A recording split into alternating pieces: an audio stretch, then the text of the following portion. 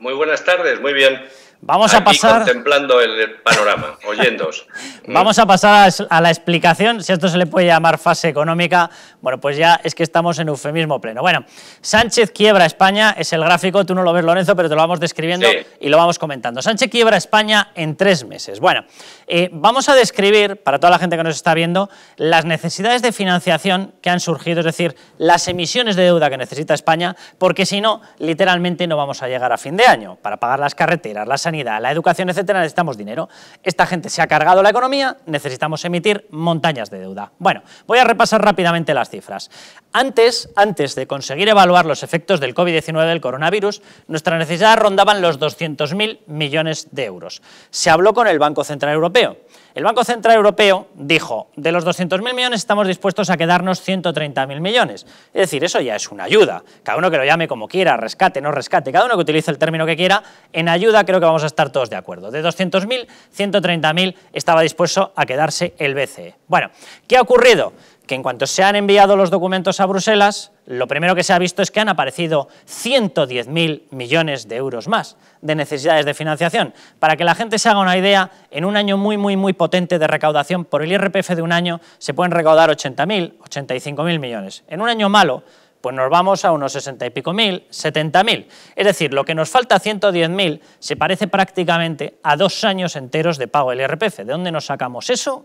Pues yo no lo sé. Pero bueno, 110.000. Si sumamos todo, 310.000. Lorenzo, esto mm, nos aboca a un rescate porque estamos hablando de que como poco, como poco, no sabríamos en estos momentos cómo financiar unos 180.000 millones de euros. Como poquísimo, como poquísimo. Bueno, la economía española está indiscutiblemente eh, obligada a ir a un rescate, a una intervención o, llamémoslo como lo llamemos. Es decir, no vamos a crecer, vamos a tener la mayor recesión de la historia desde 1898 y desde la Guerra Civil. No vamos, a, por lo tanto, a generar recursos para poder hacer frente a la deuda y en ese escenario no podemos, obviamente, subir los impuestos porque eso deprimiría todavía más la economía y nos metería en una dinámica absolutamente tenebrosa.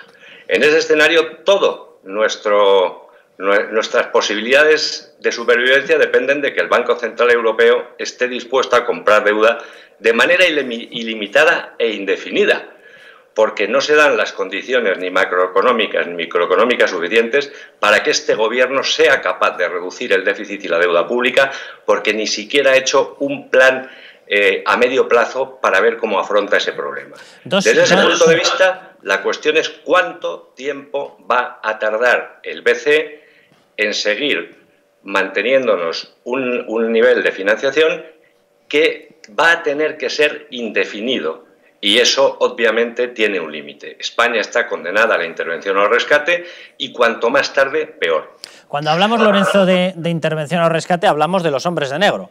Hablamos de que vendrán con un listado en el que nos dirán hay que recortar tanto, las pensiones hay que recortar tanto, el sueldo de los funcionarios, tienen ustedes que recortar X gastos, a eso nos referimos, ¿verdad? Por supuesto, son al final son los hombres, los hombres de negro, que es, en, eh, es dramático porque lo que te demuestra es la incapacidad del gobierno de hacer la política económica que exigen las circunstancias.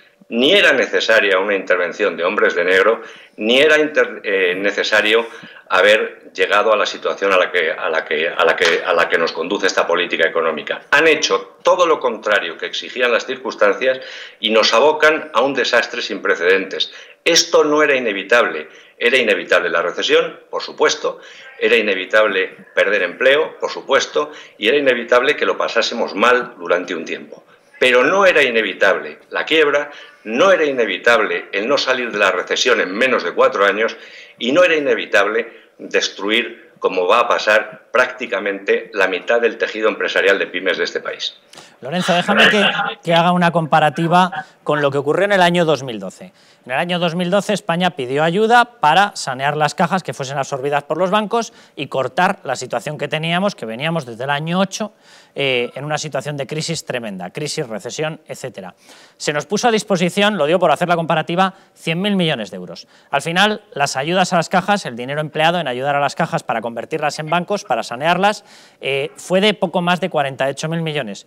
Estamos hablando de que el BCE está dispuesto a comprarnos deuda por 130.000 y aún así faltarían 180.000. Es decir, hablamos de una posibilidad de una ayuda, asistencia, rescate de más de 300.000 millones. Y en aquel momento ya se le bautizó como rescate y no llegamos a utilizar más de 48.000 millones.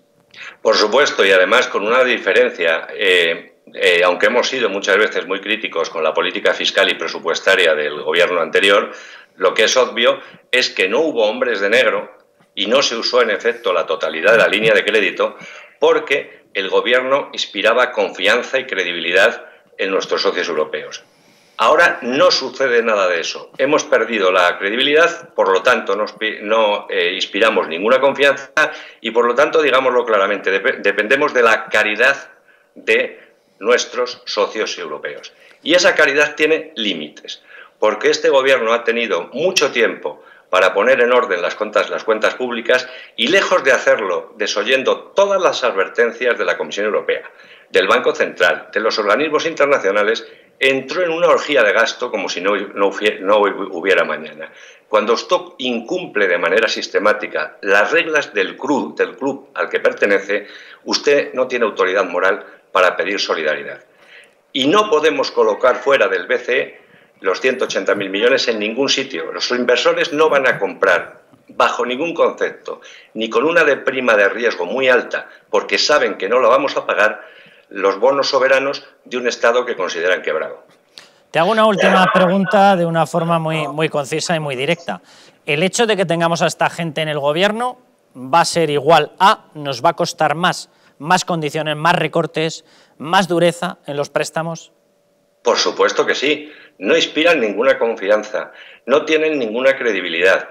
Y esta vez, en efecto, el ajuste va a ser muy duro, muy estricto y esperemos, eh, aunque suene poco patriótico, que sea rápido. Cuanto más tarde se produzca la intervención, mayor va a ser los costes sociales y económicos de ella. Y eso es inevitable. Lorenzo, un abrazo muy fuerte y cuídate. A vosotros, muchas gracias y buenas tardes.